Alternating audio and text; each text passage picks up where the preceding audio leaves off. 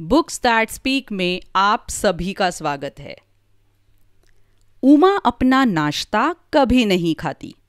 उल्टे, वो बस उससे खिलवाड़ करती रहती है।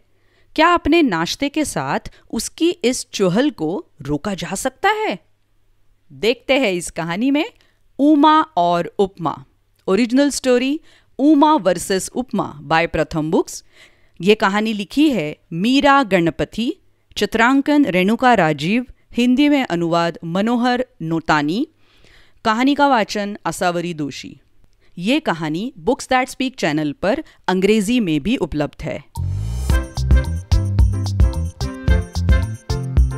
अगर आप एक लड़की को डोसे में अपनी नाक सुड़कते हुए देखे तो आश्चर्य न कीजिएगा, वो लड़की उमा है। उसे हर कोई बहुत बहुत अच्छी लड़की मानता है।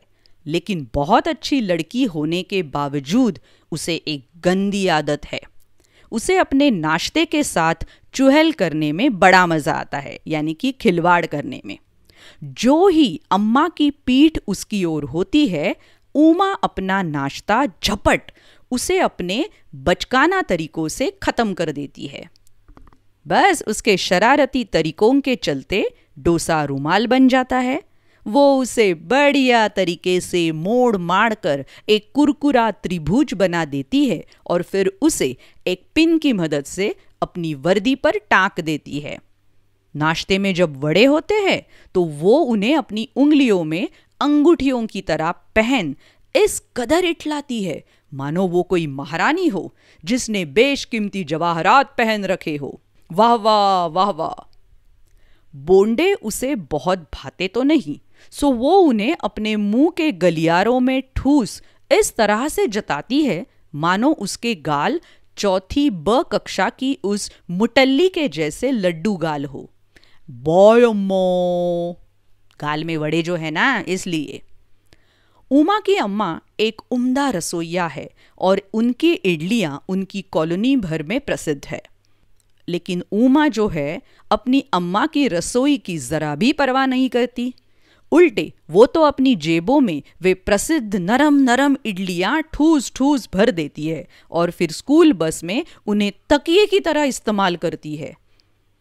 उत्तपम टोपी बन जाते हैं और पोंगल जो है, मल्ली गई बिल्ली के पेट में जाता है। कोई भी चीज़ उमा को अपना नाश्ता ना खाने से रोक नहीं सकती। लेकिन आज उसके सामने एक जरा सी मुश्किल है। अम्मा ने आज नरम नरम गुलगुला रवा उपमा बनाकर उसकी पसंदीदा प्लेट में परोसा है। अब दिक्कत यह है कि उमा इस उपमे का करे तो करे क्या? वो इसे अपनी वर्दी पर टांक नहीं सकती। वो वहाँ टिकेगा ही नहीं। वो उसे अंगूठी की तरह पहन नहीं सकती। वो रुकेगा ही नहीं। वो उसे अपने गालों की गलियारों में भर नहीं सकती। वहाँ वो पिघल जाएगा। वो उसे तकिए की तरह इस्तेमाल नहीं कर सकती। पिलपिला तकिया साबित होगा। टोपी की तरह वो उसे पहन नहीं सकती। गिर पड़ेगा सिर पर से। और वो उसे मल्ली गई बिल्ली को भी खिला नहीं सकती।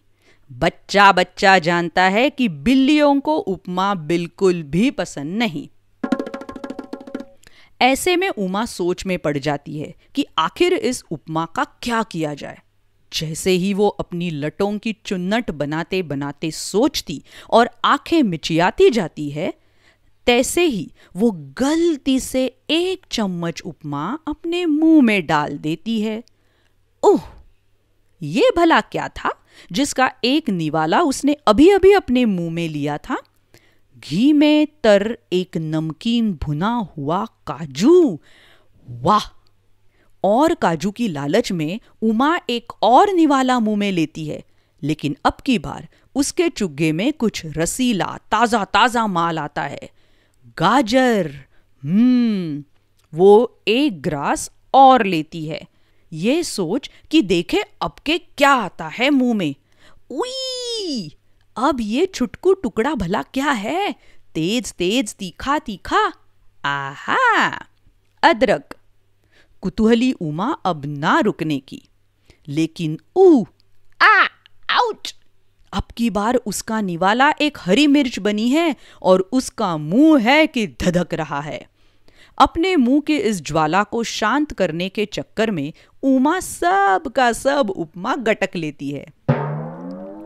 आग आखिर बुझ ही जाती है और उसकी प्लेट हो जाती है खाली खल्लास। उमा, इस बार तुम्हारा नाश्ता कैसे खत्म हुआ? अम्मा पूछती है, मेरे पेट में।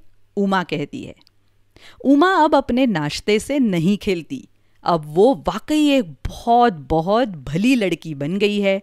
हर कोई उससे बहुत खुश है। सब उससे खुश है। सिर्फ़ मल्ली गई बिल्ली को छोड़। सो मल्ली गई आपको जहाँ भी दिखे, आप उसे कुछ पोंगल ज़रूर खिलाइए। ठीक है? तो आपको दिया हुआ नाश्ता आप खा लेते हो ना? हम्म उम्मीद करती हूँ खा लेते हो। तो और ऐसी बहुत सारी कहानियाँ सुनने के लिए बुक्स दैट स्पीक इस चैनल पर ज़रूर आइएगा। यूट्यूब पर और अलग अलग पॉडकास्टिंग चैनल्स पर वेबसाइट www.booksthatspeak.com मिलते हैं अगली कहानी में। बाय बाय शुक्रिया।